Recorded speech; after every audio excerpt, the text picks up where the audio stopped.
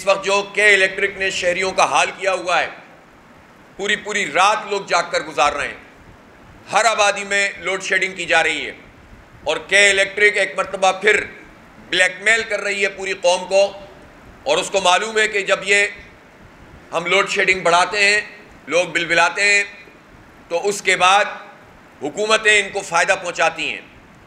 और एक मरतबा फिर उसी तरह का बेल आउट पैकेज के इलेक्ट्रिक को देने की तैयारी हो रही है कि जिस तरह पिछली मरतबा नून लीग की हुकूमत में इनको बेल आउट कराने की कोशिश की गई थी और जब इनके टैरिफ में इजाफा करवाने के लिए हुकूमत एड़ी चोटी का ज़ोर लगा रही थी, हैरत की बात है कि हुकूमतों का काम आवाम को सहूलत फराम करना होता है, माफियाज को नहीं।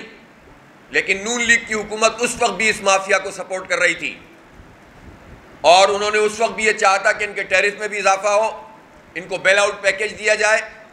वो तो उस वक्त के एक सेक्रेटरी नसीम खोकर साहब थे, वो आड़े आ गए थे और उसकी वजह से नून लीग ये मटेरियलाइज नहीं कर सकी थी और बाद में इनकी हुकूमत की छुट्टी हो गई थी। लेकिन नून लीग हो या पीटीआई हो या पीपल्स पार्टी हो, ये सारी पार्टियाँ के इलेक्ट्रिक को फ़ायदा पहुंचाती हैं। चौदह अगस्त के बाद के इलेक्ट्रिक माफिया को लगाम दो के नाम से हम तहरीक शुरू करेंगे और हम एक्सपोज करेंगे एक एक पार्टी को एक एक लीडर को। जो इस माफिया के साथ खड़ा हुआ है और जो इस करप्शन के अंदर शरीक है, जो कराची के तीन करोड़ लोगों के ऊपर मुसलत करदा माफिया को सपोर्ट करके ये करप्शन कर रहे हैं।